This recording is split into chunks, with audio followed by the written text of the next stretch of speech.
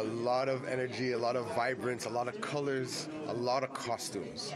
After being canceled last year, the Montreal Carimas Festival is back in full force, ready to celebrate their 50th edition.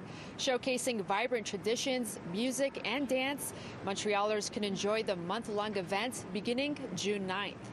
We want to be able to represent our cultures across the islands that we represent here in Montreal. There will be four events in total, including pageants for teens and young adults, a carnival for kids, then the main event, a street parade happening on July 6th, and finally, Carimas Sizzle to cool things down later that day. This year, we're looking at inviting uh, members from the African community. Uh, we always had uh, the Haitian community always involved, so we're definitely going to be bringing three groups uh, from the Haitian community to be involved this year, uh, as well as we're looking at the Chinese to bring some of the dragons um, and, and show that on the road as well. 14 year old Destiny, winner of the preteen pageant in 2019, is looking forward to attending this year's event and inspiring other young girls to dream big. I feel it's important because there's so many little girls whose their dream is to be a princess, and my dream was to be a princess, and I become a princess when I win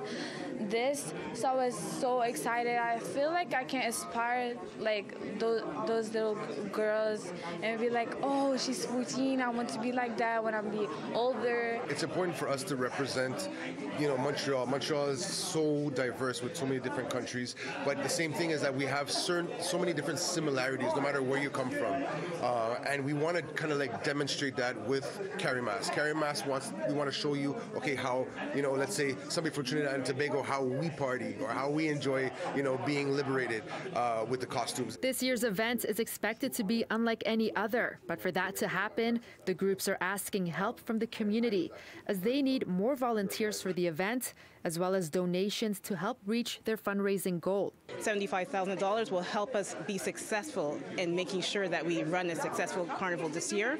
As well, going forward for the next five years, we'll be putting that investment back into carnival to make sure that we, next year we don't have to be in this position again. In Montreal, Swidda Rassy, City News.